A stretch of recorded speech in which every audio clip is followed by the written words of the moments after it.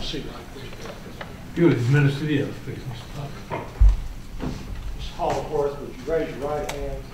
You solemnly swear or affirm the testimony you give in this proceeding shall be the truth, the whole truth, and nothing but the truth, so help you God. Do. Have a seat.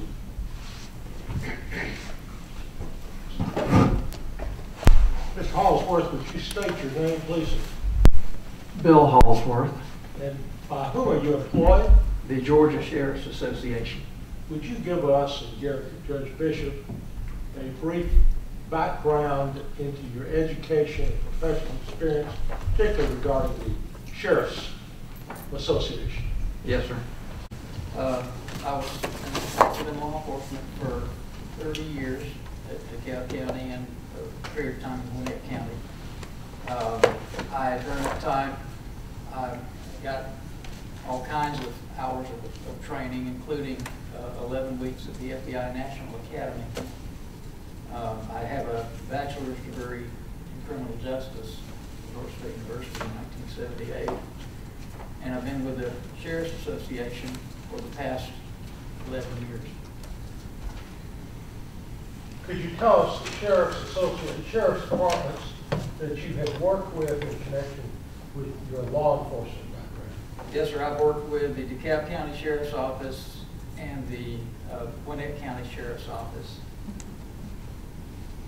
When is the last time that you were actively involved with the Sheriff's Department? Uh, It was in 2006, I retired from DeKalb County uh, September 30th, 2006. And your current role with the Georgia Sheriff's Association is what? Uh, I am, my official title is Coordinator of Jail and Court Services, uh, but our role, I say our, there's three other folks that I work with, and we're all responsible for providing training, not only to the sheriffs, but to their staff, and for providing technical assistance uh, regarding needs assessments, staffing studies, um, operational policies and procedures and things like that. Mr. Hallsworth, did you receive a request in 2014 to conduct a, an assessment, a staffing analysis of the Dawson County Sheriff's Department? Yes, sir. And what exactly was that request and what was your response? Uh, Well, the uh, Sheriff Carlisle was the sheriff at the time, and uh, his request was to do a staffing study for the entire agency. Uh, I could not, my work schedule was such that I could not get to it immediately, um, but I was able to um, get it done in 2015. And once you completed that staffing analysis and assessment, what did you do with it? Uh, I, once I had it all written up and everything, I uh, tendered it to Sheriff Carlisle. And this was based on information that you had through December 2014? Yes, sir. You have not done a subsequent staffing? No, sir, I, not, not for Dawson County, no, sir. In everyday layman's terms, what is a staffing analysis for a sheriff's department?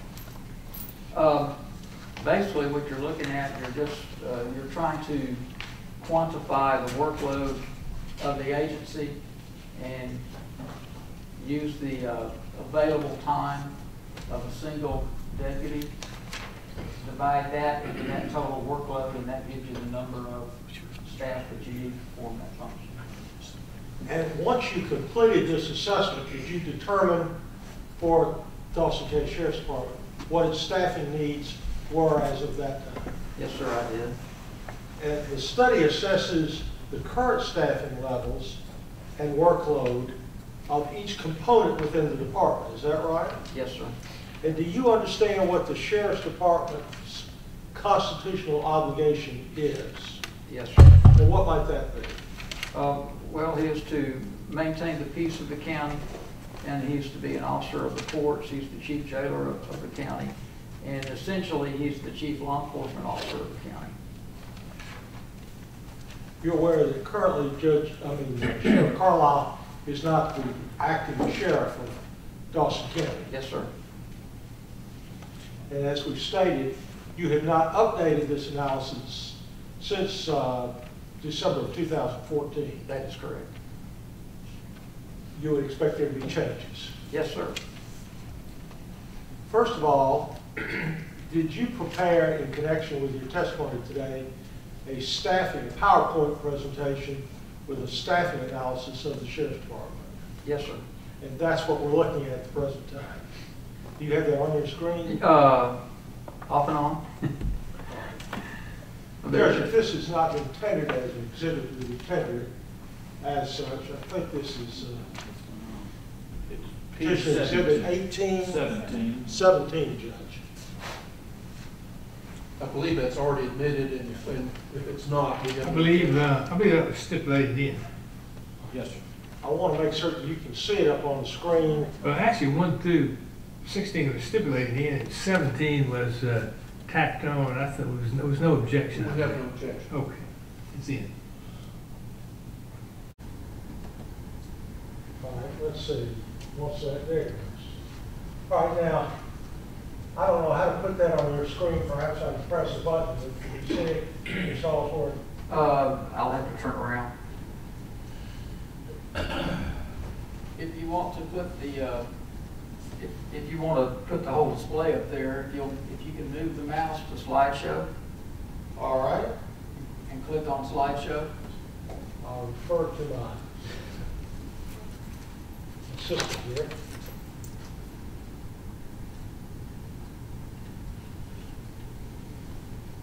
And tell it, uh, all the way to the left where it says from the beginning. Do you put such PowerPoints together when you make presentations to various sheriff's departments? Yes, sir, unfortunately, all the time. And how many presentations do you typically make per year? Continuing education or I really couldn't tell you. It's a lot. more than 10? Yes, sir. So, the first thing we want to do is we want to find out the formula for coming up with a figure. Okay, if you go to the next slide, please. Next time. All right, explain the staffing formula. All right, so, um, like I said, you have to determine what the required labor is. And it's basically based on, well, it is, it's based on data that's collected to identify the number of labor hours it takes to perform the duties and functions of the sheriff's office. And then you divide that by something called NAWH, or net actual work hours. That's an acronym for net actual, Actual work hours, yes, sir, of, of, of a single person that would be in the job classification to do that job. So it wouldn't necessarily be 40-hour work week for a person, it would be something else. Yes, sir, it would be. All right, now, what do you do once you have the required labor? All right, so once you have the required labor and you have that net actual work hours, you divide that net actual work hours of a single employee into that total number of labor hours that's required, and that's how you determine the number of people that it takes to, to do that job. So that would be the staffing needs for that particular job, Yes, sir, that is correct. and why is that important? Um, well, you- otherwise, you would have gaps if you don't, if you don't, well, first off, if you don't quantify the number of hours that it requires, you could be terribly un, either understaffed or overstaffed, uh, if you're just gonna wing it. So you, you really do need to have a full understanding of the requirements of that particular job or function. And then that net actual work hours, uh, allows for somebody to always be there to do that work when somebody's out sick or on vacation or training or something like that. What's the next step in this formula? All right, so, Go to uh, the next slide. yes, sir, let's, let's go to the next slide. All right, what are net actual work hours? All right, that? net actual work hours, let's say that you have somebody that, let's just use a- a forty-hour work week. All right, so a forty-hour work week, uh, times fifty-two weeks is, uh, what, 2,000 2,000 hours, somewhere around there? About 2,000. Okay, so, well, let's do it, I tell you what, I'm more comfortable using eight and a half hour days, because that's what, that's what a lot of folks do. So, eight and a half hour days is 42 and a half hours a week, that's 2,210 hours a year. Uh, But out of that 2,210 hours a year, that employee is not going to be available. He's going to be taking sick time, he's going to be taking vacation time, he's going to be away. uh, There's going to be some holidays in there that he's going to be away on training. uh, And God forbid, but he may very well have some bereavement time that he has to take as well. All right. Now, what's the next step in computing what staffing is needed? All right, so to get the net actual work hours, then you subtract the amount of sick time that an employee can accrue in a year. Is that in the next slide? Uh, yeah, I'm sorry, yes, Next slide. next slide. Okay, so this is an explanation of how we get net actual work hours. Uh, you take the scheduled work hours, uh, and you, you subtract all the leave hours out, and that gives you the net actual work hours. So in this particular situation, um, was, just as an example, well, let's see. All right, so employees work hours, employees working twelve-hour shifts work seven shifts every two weeks. Uh, that equates to seven 12-hour shifts times 26, because there's 26 two-week periods in a year, and that's 2,184 scheduled work hours. The leave hours, the number of hours an employee accrues in a year, um, in this particular, this particular example, it was, it just used 12 sick days a year, plus 10 vacation days a year, plus 11 county holidays. Um, Sometimes I have to do that in terms of, they don't, they don't equate a day to a 12-hour shift, they may equate a day to eight hours, so we have to use hours instead of days. But still, you subtract that from that 2,184 hours, and that gives you uh, the net actual work hours, the amount of time that that, uh, that employee would be available to work. That is abbreviated NAWH, net actual work hours. Yes, sir. That is correct. And did you compute that for Dawson County? Yes, sir, I did. Uh, For each, for each of the, uh, in fact, if you go to the next slide, you can see an example uh, for the um, Sheriff's Services Division. This was just for illu- illustrative purposes. We have Uh, that slide up on the screen now. Yes, sir. So it- the, uh, it was based on an eight and a half hour workday, uh, 10 days per pay period, 26 pay periods per year, 2,210 hours. Um, Yearly personal leave was 139.9. In a situation like this, uh, what I'll do, if- you have, a lot of counties have leave times scheduled based on the amount of tenure that an employee has. And so in, in a case like that, I try to figure out, well, I, I figure out the average tenure for everybody in that division and use that average tenure to figure out what the leave hours would be for that particular group of folks. You're going to have some folks that, that accrue more and some that accrue less, but it's based on an average. Right, in Dawson County, that figure was 1880.7. For the uh, services, yes, sir, it was 1880.7. Now, once you have that figure, how do you do the analysis? Are there various approaches? Um, yes, sir, for the, um, for like Would uniform. that, would that appear on the Yes, sir, slide? let's, let's go to the next slide. Next slide. Okay, so it's, basically we do either a modified workload analysis, a functional analysis, or a time and task analysis. And what is the difference in the three? All right, so modified workload analysis Next is, slide. yes, that's the next slide.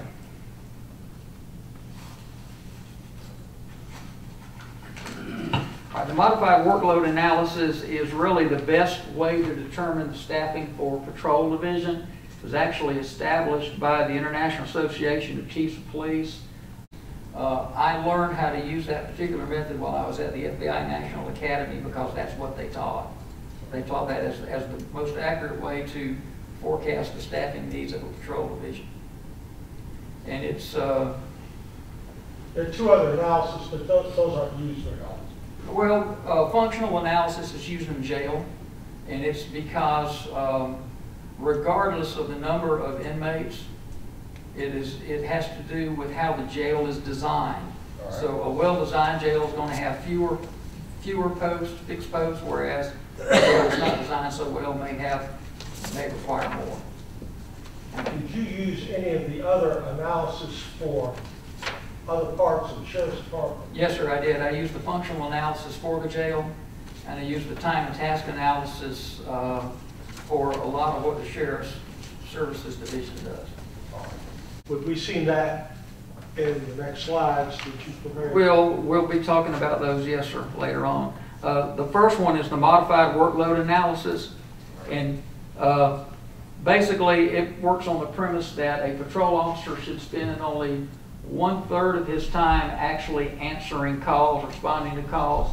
He should have one-third of his time available for proactive uh, patrol, and then a third of his time for administrative matters such as training, such as court appearances, such as reports, equipment maintenance, and that kind of thing. Why is the division of time so important, particularly for uh, patrol deputies'? If you have patrol deputies that are simply running from call to call, they're not doing anything other than being reactive. And really and truly, to be effective, they have to have time to be proactive as well. Are they doing the task for which the sheriff's department is required to do by dividing their time? Yes, sir. By dividing their time, they are providing the greatest level of service to the, to the folks that- that live in the county. If they're not able to divide their time that way, are they fulfilling that function? Uh, Not to the point of being able to prevent um, crime, because they're just not able to be available. They are strictly being reactive and investigating crimes that have already, already committed. What other type of analysis did you use with the department? All right, for the, uh, for the jail, I used the functional analysis, and functional analysis is Is based that on a slide? Uh, yes, sir, is that on the, let me see, is that gonna be on the next one? It may be the next, uh, next couple of slides. Let's see. One, two, three. Let's go to the next one. Did- Did you wanna look at those numbers or not? I did. Okay, let's go. Can you go back one? Did I throw you a curveball? Okay, all right. So. Modified workload analysis Yes. is used in what department? All right, that was used in the patrol division. So the, uh, the patrol division was dispatched to ten thousand one hundred and seven calls. That's not on here. I'm gonna get to the, I'm gonna get to this slide in just a minute. Dispatched to ten thousand one hundred and seven calls at just a little over an hour per call, and one point oh six hours was the average. Um, When asked, the uh, sheriff's office provided me that approximately twenty percent of those calls required two units. So we factor in an additional twenty percent of that time, and we arrived at a total time of, it's probably on slide, yeah, twelve thousand, or uh, actually thirty-eight thousand seven hundred eighteen point twenty-seven hours. It's twelve thousand nine hundred and six point oh eight eight hours times three because you got twelve thousand nine hundred six point oh eight eight hours for patrol, twelve thousand nine hundred six point oh eight eight for, re- answering calls, and twelve thousand nine hundred six point eight eight for the administrative time. That comes up to that thirty-eight thousand seven hundred eighteen point twenty-seven, just rounding it off. Thirty-eight thousand seven hundred eighteen point twenty-seven total hours for the patrol division. And the next slide we figured out the net actual work hours of a patrol deputy and a single deputy would be available to work one thousand eight hundred and seventy point five hours a year. So to figure out how many deputies it takes to provide that thirty-eight thousand seven hundred hours of labor, you divide that eighteen seventy into that thirty-eight thousand seven hundred eighteen, and you come up with twenty-three excuse me, 21 people, 21 patrol people, deputies, to be able to fulfill that work requirement. That would appear on the next slide. Yes, sir. There. And that explains it.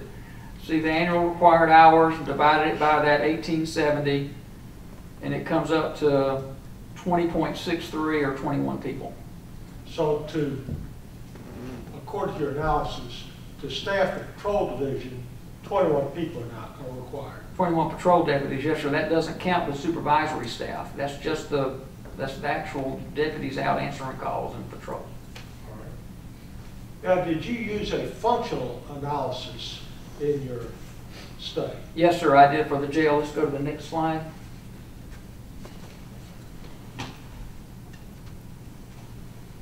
So this is for the jail. Yes, sir. Um, It, the functional analysis is really good for jails. Uh, It, it can be good for part of what courthouse security does.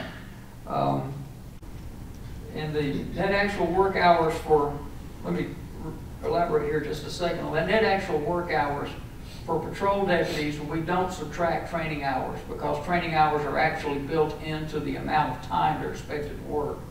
All the other divisions, those training hours are not part of their workload, so we have to subtract the hours that they're away from work uh, from that NAWH so that it could be a little bit lower. All right. Now, what did your analysis show for the jail? All right, so for the jail, let's go to the next slide, please.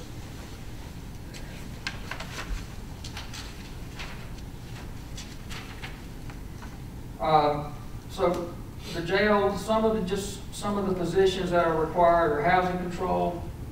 Well, Let's go to the next one. And the next one. Okay. Uh, Some of the, some of the positions that we identified, uh, just right off the top, every jail pretty much is gonna have housing control, an inmate supervision officer position, a booking position. Depending on the design of the jail, they may or may not have a central control. Uh, Depending on the design and the workflow of the jail, they may or may not need an escort position. But what you're doing is, you're defining uh, posts that a person must be assigned to in order for the jail to operate. So, for instance, if you have a control room that's uh, controlling the doors and helping to monitor the inmates in a particular housing block, that position has to be staffed all the time. Likewise, the officer that's actually having the face-to-face contact with the inmates and supervising the inmates in person, that position is going to have to be staffed all the time. And it doesn't matter if there's one inmate in that housing block or if the housing block's full, you're still going to need those people there, those staff there. Did you apply this analysis to the Dawson County Jail? Yes, sir, I did. Is that shown on the next slide? Uh, Yes, sir, it is. So on this slide, you can see the, the uh, positions that we identified. Uh, Pods A and D have an ISO, or inmate supervision officer, and a housing control officer. The same thing, pods E through H, uh, housing control and inmate supervision officer. Pardon me. Uh, Then a medical officer, as far as providing it, uh, security and inmate supervision. And you can see that those particular positions need to be staffed twenty-four hours a day, seven days a week. And each one of those positions requires hundred and sixty-eight hours of labor a week. Right. And how does that apply to the number of people that are necessary? The number of employees. Employees? Okay, um, so, just to cut to the chase here, you total up all of those positions, all of the hours for all of those required positions, you total them up. So for that first group, it was eight hundred and forty, uh, for the second group, it was eight hundred and forty-one. Uh, you total all those up per week, fifty-two weeks a year, Would that appear on this slide? it would appear on the next slide, well, let's see. Yeah, there it is.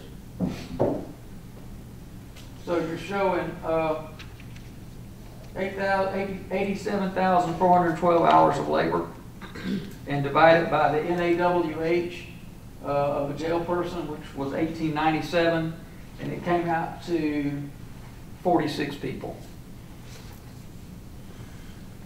When you did the jail division functional analysis, did you determine if any administrative or other personnel were necessary. Yes, sir, go to the next slide. Well, see, you got it. Okay, there it is. Uh, yes, a, um, a, thank you, it's going out.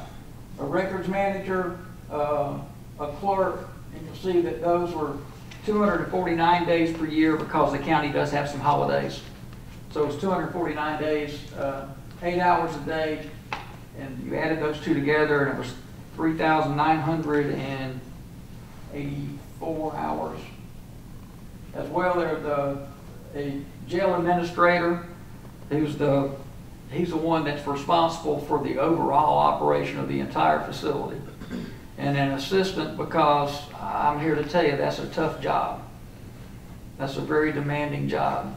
Um, and you need somebody that, that you can rely on when you're away from work yourself, uh, for whatever reason, and to assist you with tasks, because it, it can be, uh, being a jail administrator, it takes a very unique person. And it's a very demanding job, and they need an assistant to help them. Also, uh, two operations lieutenant, just for, um, to maintain continuity of operation across all the shifts. And then, um, okay, that's all of them there. So the total number of administrative personnel, according to your analysis, would be what in Dawson County? And total administrative, as far as the civilians go, would be two point three or three, uh, just for that shift relief and to help do other, other type administrative functions. And then the, uh, the other four, the jail administrator, administrative lieutenants, and the operational lieutenants. The total how many? Uh, four, five, uh, four, seven. Now, you also did an analysis of school resource officers, is that correct? Yes, sir, I did. Would that appear on the? On on the next slide. All right.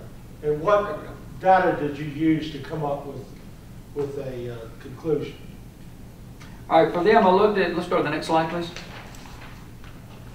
I looked at the hours per day and the, the number of days per pay period and the pay periods per year, again, twenty-two hundred and ten hours, uh, per position, um, or per, per deputy, excuse me.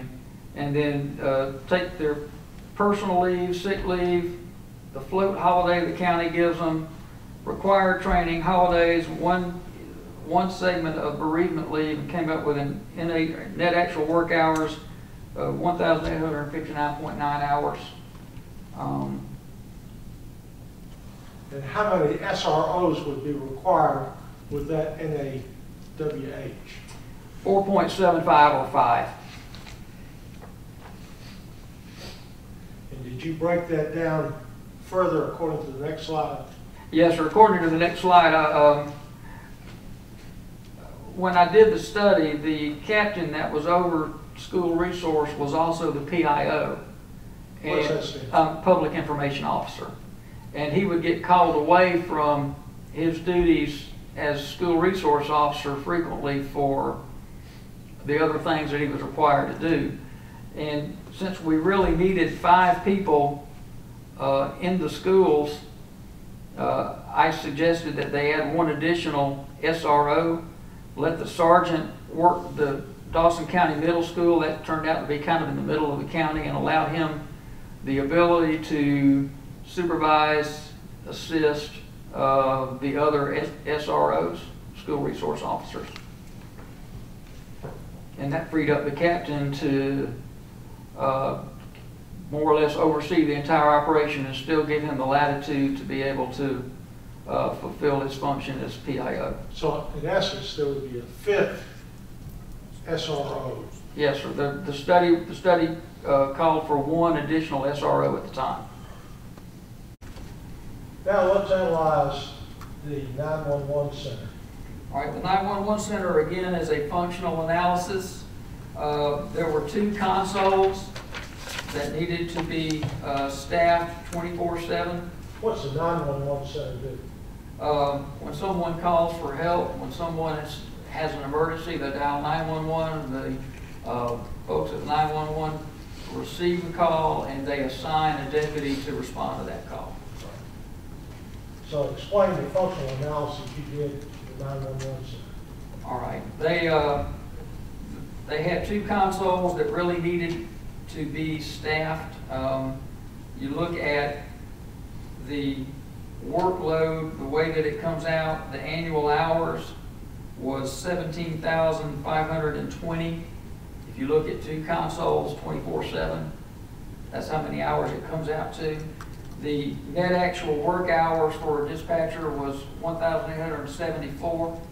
So if you divide one thousand, if you divide one hundred and seven, excuse me, seventeen thousand five twenty, if you divide that by eighteen seventy-four, you come up with nine point three four people. Or ten Or people. 10 people. Yes, 10 ten people. Personnel. Yes, sir. Now, on the next slide, you do a time and task analysis. Yes, sir. What is, what is that used? Uh, Where did you use that? That's used when you don't really have necessarily a minimal number of positions that must be staffed. You have a varying workload, um, like in a, in a court services situation. Court services is almost a, uh, combination of functional, where, like the screening station has to be staffed. But then time and task would be like, uh, court security, courtroom security. Uh, that's not going to be the same every day because some days are going to have more court than others. So you're relying on time and task at that point. And did you use that analysis for any of the departments within the sheriff? Yes, sir, I did. I used it on the uh, Sheriff Services Division. Is that the next slide? Uh, we can actually, this is a repeat of the earlier example, so we can skip this slide and go to the next. All right, so, so the uh, Sheriff Services uh, Division Functional Analysis looks at um, the morning security inspection that has to be done, the evening security inspection that has to be done, um, the screening station that has to be staffed, and uh, the position of what I call a rover or patrol, one deputy that his job is just to constantly circulate around the courthouse to make sure that, you know, you don't have an irate citizen or, or a problem in a courtroom or something like that. And then the, uh, let's go to the next slide, please. This is the time and task analysis. It actually looked at, uh, in 2014, the number of actual court sessions, the daily courtroom hours, number of deputies in each courtroom. So time and task on that was 2,512. Uh, That was for Superior Court. Probate Court, uh, 15 court sessions. Uh, On the days they met, four hours, two deputies, and that was 120 hours. For juvenile court, number of actual court sessions was 43. When, when court was convened, it was for eight hours, two deputies, it was 344 hours. Magistrate court, uh, number of actual court sessions was 56, or excuse me, 66. And uh, when it convened, it was for an hour and a half, two deputies was 198 hours. Next slide, please. We also looked at uh, providing security for Board of Commissioner meetings. Uh, There were 46. When they met, they met for an hour with one deputy for 46 hours. Planning Board meetings, 12 times a year. Uh, The daily planning meetings were for an hour. The number of deputies was one for 12 hours. Next slide. Uh, As far as serving civil papers and subpoenas, uh, the sheriff's office received 1,169 civil papers. They received 691 subpoenas. Um, I was told that on average, it took about five attempts on all of those, on average, um, to have a successful service. And each time they were out on an attempt, it was .13 of an hour, which I'm not sure if that's like seven or eight minutes, maybe something like that, uh, six, seven, eight minutes. Uh, So the time required for all of that was one thousand two hundred and basically forty hours. And then I was told that The, the time they spent traveling from attempt to attempt was another point thirteen of an hour, about seven or eight minutes, six, seven, eight minutes. Total attempts was nine thousand three hundred. Total tra- travel time was one thousand two hundred and basically forty.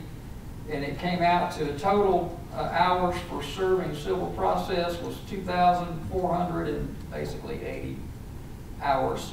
What about for criminal? All right, so for warrants, they received one thousand seven hundred and ninety-eight warrants. Again, I was told it takes about five attempts on average to successfully execute the warrant.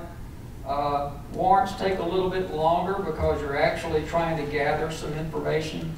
Uh, The guy's not there, get some information on where he might be, who he's hanging out with, what kind of vehicle he drives, that kind of stuff. So on average, you're there about fifteen minutes. And on warrants, we send two deputies just for deputy safety. Um, So the time required was four thousand four hundred and ninety-five was actually spent um, on the, on scene. And then the travel time between uh, locations was again that six, seven, eight minutes. And the travel time came out, well, let's see, the total number of attempts then was eight thousand nine hundred and ninety. Total travel time, twenty-three hundred ninety-seven. And the, uh, total time for, devoted to warrant service was, uh, six thousand eight hundred and ninety-two and change. Now, the sheriff's department provides other services other than the serving of subpoenas and uh, petitions, civil petitions and, and uh, criminal warrants. Yes, sir. Did you do an analysis on that time? Yes, sir, I did. They, um, the next, next slide should have writ of possession and protective order activities. And, uh, the total amount of time on, uh, writ of possession activities was thirty point four hours. The total amount of time on protective orders, uh, and that's like in family violence type situations where they have to go, maybe put somebody out of the house or tell somebody that they can't come within so many feet of the plaintiff on that, um, is fifty-seven hours. Also looked at transports, um, where they do. What's a transport? Transporting a prisoner? But yes, transporting a prisoner, it, it might be transporting a prisoner from, uh, it could be transporting a prisoner from the jail to the hospital, or, uh, transporting a prisoner from jail to a prison, or transporting a, picking up a prisoner at another jail and bringing them back to this jail. All right. And what did your analysis show? Let, let me, let me ask a question about, about the warrants. Yes, sir. About serving warrant, two officers serving warrant, basically five attempts and that sort of thing. Yes, sir. Uh, are the misdemeanors included in that, like DUIs, uh, those kinds of things? Is that counted as a warrant or warrants issued for those? Yeah, It's something like a bench warrant for failure to appear on Well, the just if somebody's arrested on a DUI, uh, no, I mean, if they're stopped on the road and arrested, I mean, that, that, that results in a warrant as well. No, sir, that, that's not counted. These would be warrants that are received by the sheriff's office, taken by another entity. Okay, not road stops and that sort of Yes, thing? sir, that's Okay, correct. all right, go ahead, please. That would be additional time to that which you've already figured. Well, that would be figured into the patrol deputy time. Okay. All right, you were analyzing the uh, sheriff's service division time and task. The slide that's on your screen. Yes, sir. Um, so the transports was seven hundred and ninety hours for transports requiring one deputy. Uh, transports requiring two deputies would be either longer distance or seriousness of the, the, uh, the danger of handling that particular person, that particular inmate. And that was a thousand, or no, that was two hundred and fifty-four hours for a total hour of transports of thousand forty-four. Okay, what is the next slide show? Uh, the, all right, that just, that's just kind of a, a recap of all of the time that was analyzed on the Sheriff Services Division.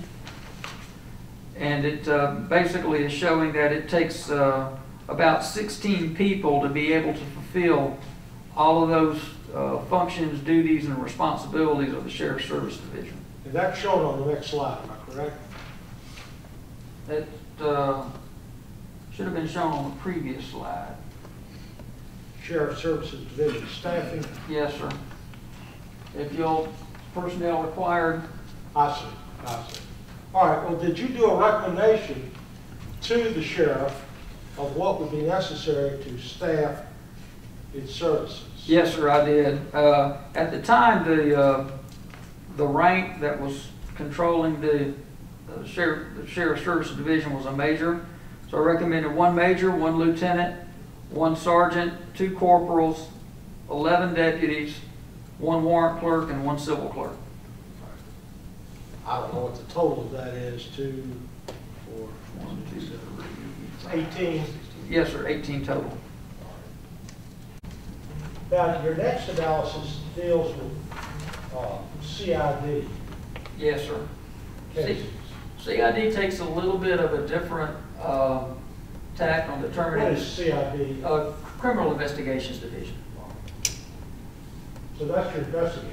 Yes, sir, that's the de- detectives, investigators, whatever you want to call them. Now, what was your analysis on that? All right, that's done a little bit differently because the work of an investigator is hard to quantify. Um, Some cases almost solve themselves, they don't take much effort, much time. Other cases take a whole lot of time. And so uh, when it comes to staffing an investigative division, we start looking at the caseload for, uh, for the detectives. Pardon me. Would you like some water? Yes, sir, please. Go ahead.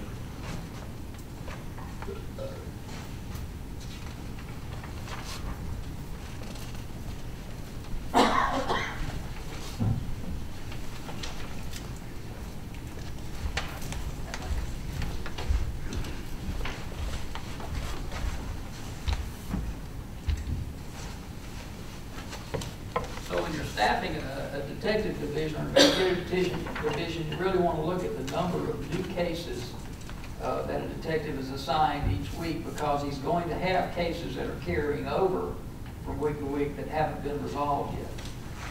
And, uh, let's see, if we on this slide or the next one. We can look at this one. Um, yeah. So in 2014, there were, pardon me.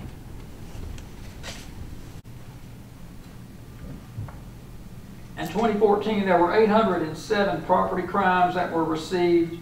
269 of those were actually assigned, uh, and that was based on the number of detectives that were available at the time. There were, they were kind of likened it to medical. They were triaging the, uh, the cases, the ones that stood a- the best chance of being solved were the ones that were being assigned, and the others that might take more work, uh, a substantial amount of work, uh, were, were just kind of filed simply because they didn't have people, they didn't have resources available to investigate them. And uh, a similar situation came about with the uh, crimes against persons. There were 482 crimes against person cases received, and they uh, assigned 194 of them. So the percentage of the property crimes that was assigned was 33, and the percentage of the crimes against uh, persons that were assigned was 40%. So they received a total of 1,289 cases, and if you look at it in totality, 36% of those cases that they received were actually assigned. Um, So of those cases, now, I was also told in the process of all of this that drug cases were uh, included as property crimes when I got the initial stats. So when I talked to the uh, CID supervisor, he explained to me that drug cases were actually included in the property crimes that I got. So I broke it down. Once I learned that, I broke it down. So there were, uh, the clearance rate of assigned criminal cases, assigned crimes, uh, uh, property crimes was 269, assigned crimes against persons was 116, and assigned drug cases was 78. Uh, There were 218 property crimes cleared, uh, 85 crimes against persons cleared, 56 drug cases cleared, the clearance rate for the property crimes was eighty-one percent. The clearance rate for crimes against persons was seventy-three percent, and the clearance rate for drug cases was seventy-two percent.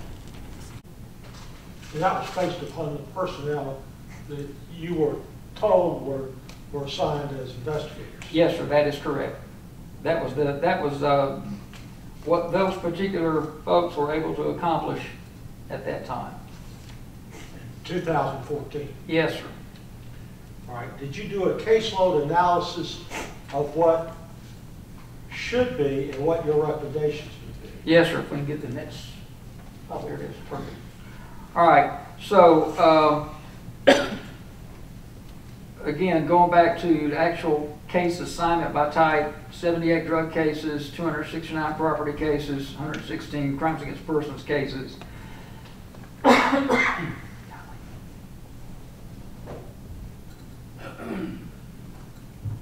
So what they had assigned, the caseload, um, the caseload each month, the crimes against property, they were getting sixty-seven point twenty-five new cases each month with three investigators trying, trying to shoulder that. Um, and then crimes against persons, they got, uh, they were getting about twenty-six of those each month with two people trying to do those. So it was, uh, the detectives were basically, the property detectives were basically getting twenty-two new cases, and the crimes against persons investigators are getting thirteen new cases. Um, what I recommended, and it's based on, uh, a study that was done in Florida. Um, I want to say it was the IACP, I think it was the IACP that did that case study in Florida, recommended that um, detectives that are investigating crimes against persons uh, should have no more than um, six cases, five to six cases a, a, month or a week and a month. And then the um, property detectives shouldn't have any more than uh, 16 new cases because they do have cases that carry over. And if you if you try to load them up with 22 cases, new ones, and or, or for the uh, crimes against persons, 16, those add up, and after a while, the detectives are just going to have an incredible amount of unsolved crimes because he just doesn't have the time to go back and follow up with the cases that he already had active. So you were able to determine and recommended that the investigators were getting more cases than should have been assigned to them. Yes, sir, that is correct. Were you able to determine how many investigators were needed? Yes, sir. Um, With the caseload back in 2014? Yes, sir, with queso back in, in, uh, two thousand fourteen, so, let me find my.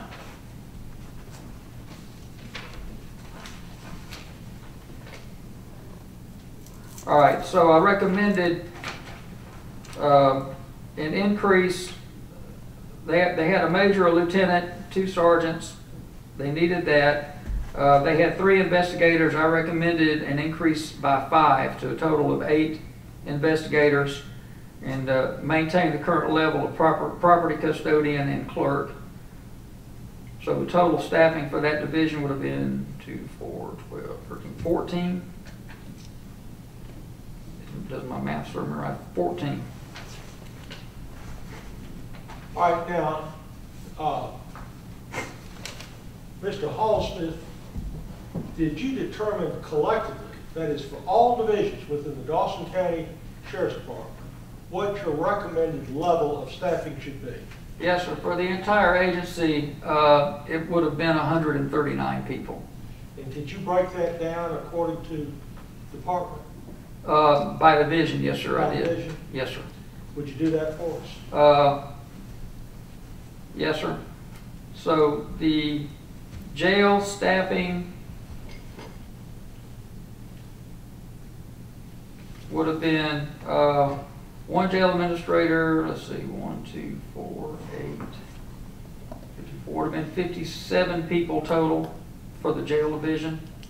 Uh, For nine-one-one, it would have been ten people. Um, for, I'm sorry.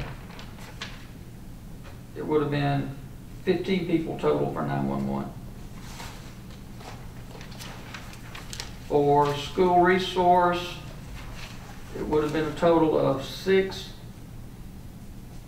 Uh, For uniform patrol, it would have been a total of twenty-nine. For criminal investigations, it would have been a total of sixteen. And sheriff services would have been a total of eighteen. You didn't address the issue of training or what the sheriff would do in the event personnel need to be out of the department for the purpose of training. Well, for the patrol division, that training time is built into their workload. Because again, one-third of the patrol time should be, should include training, administrative function, court testimony, report writing, that kind of stuff. For everybody else, you are subtracting that, uh, let me say this, post requires that peace officers get a minimum of twenty hours of in-service training every year. That's a post requirement. And uh, we subtracted, for the NAWH of everybody but patrol deputies, we subtracted that 20 hours out of that work time, so that 20 hours is reflected in the net actual work hours. What is the effect of not being able to train and certified. Well, if they don't get their 20 hours of uh, in-service training, a- a peace officer will have his certification suspended, and he's not, he he loses his power of arrest while that, uh, while that's suspended. Were you given information regarding the population and business and housing increases on Dawson County? Uh, I'd have to look at the study. I don't think that I had that at the time. And again, this study is four years old. Yes, sir. It is, it is basically a snapshot of the workload of 2014. And that was passed on to Sheriff Carlisle. Yes, sir. Total number of officers needed was 139. Yes, sir. Thank you. Yes, sir. Is your witness?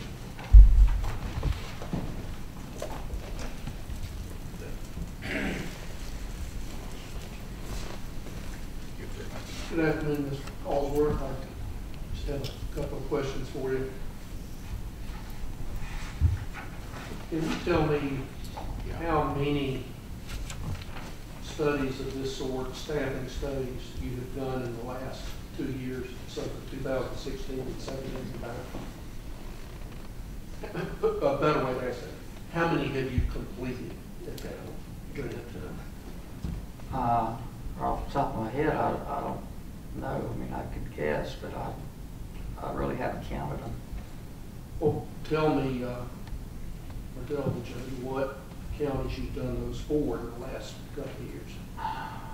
To the Uh, point of actually being able to turn them over. Right this second, I can't recall. I mean, I'd have to go back and look at my files to see what I've done before. I, this is not the only thing that I do. Um, and right this second, I couldn't tell you. Uh, I, I want to, between, you say since this one, maybe three, maybe? But again, that's, that's kind of a guess. That's not a, Three since the one that you turned over in 2000, for 2014. Yes, sir. I'm guessing, I- again, that's just a guess. And you've been doing this for GSA for how long? Uh, 11 years. Ballpark figure for those 11 years, how many have you done? I'm gonna, again, guess between 20 and 40. And of those 20 to 40, roughly what number or percentage, if it's an easier way for you to do it, have you recommended a reduction, a decrease in the staffing levels? I know I did that in Hall County for their patrol function. Their, their patrol function was overstaffed, so I recommended a reduction for that. Their patrol staff, Yes, sir. how about overall for Hall County? Uh, overall, the, the jail in, for Hall County at the time was terribly understaffed. So overall, you recommended a- an increase? Yes, sir. Are there anywhere you have recommended an overall decrease? No, sir. Thank you. Can I examine the witness? Redirect. Thank you. Mr. Hallsworth, when you received information and conducted your analysis and then made your recommendations, you were made aware that Sheriff Carlisle uh, implemented certain personnel transfers to try to implement what you proposed. Yes, sir. And he ultimately ran into the problem that he had no other options left except to ask for or pursue increases in staffing. That's my understanding. Now, what would your recommendation be for any other option to implement these changes? Your Honor, I object to this. This is something that he should have gone over and direct exam. That's not anything that I got into or, or brought up for the first time at the cross. I think it's improper for him to fix his failure to address it earlier. Judge, the court sits without a jury, and I think you can separate the wheat from the chaff. Go ahead. So what else could Sheriff Carlisle have done, in your opinion? Well, if you've already allocated your existing personnel the best that you can, and you're still not able to do all the things that need to be done, um, I guess the the only option you would have would be to increase staff. And that's precisely your recommendation, Yes, sir. four or five years ago. Yes, sir. Thank you. Nothing further. You wish this uh, witness to remain, or you wish this witness released? I'm sure he won't stay with us, but we ask you to be excused, Your Honor. Any objection? No objection if, if he stays in here, obviously, he would not be entitled to take the stand. Okay. I mean, you- you- No objection to being released altogether as a witness. No, sir. you release me to the further testimony. He wants to go home. You can go home, we, we decided your speech. I think we've been going about an hour. Let's take ten minutes and we'll recommence.